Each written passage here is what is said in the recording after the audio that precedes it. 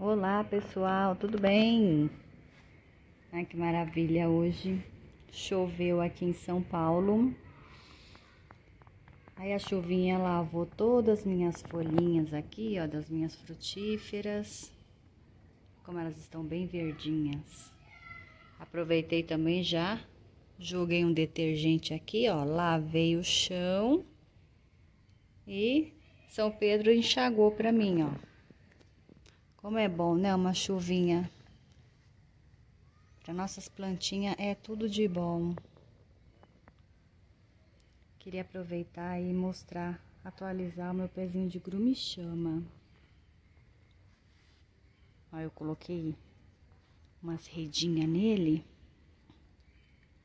Pra não, não vir a mosca da fruta e acabar estragando o fruto, né, ó. E eu tava olhando na internet, gente. Grumichama costuma ser o fruto ser preto, né? Ou é preto ou é um roxo bem escuro, não sei. Só que esse daqui, o meu, não tá ficando preto, ó. É amarelo. E eu tava olhando na internet, esse daqui é uma grumichama bem difícil de encontrar.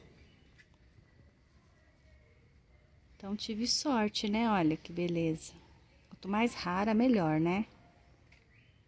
E olha, o fruto é bem grande.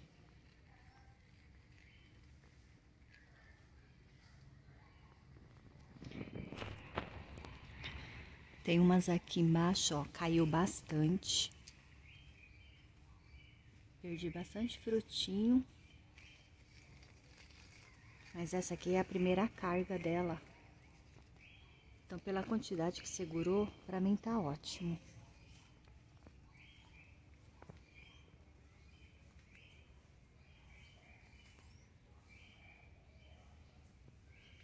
Tá nascendo novos galinhos. Aqui, aqui. E aqui embaixo também, ó, tem mais frutinho. Ai, fiquei mais animada agora com meu pezinho de grumichama.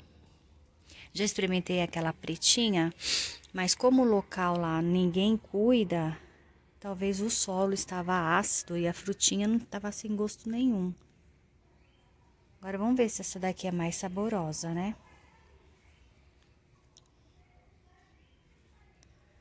Olha que coisa mais maravilhosa que tá isso aqui, minha gente.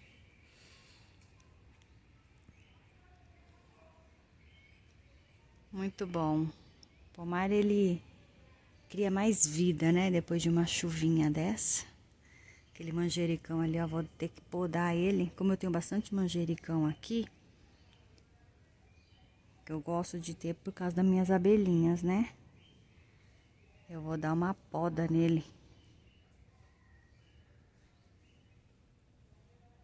Isso aí. Tchau, tchau, pessoal. Até o próximo vídeo.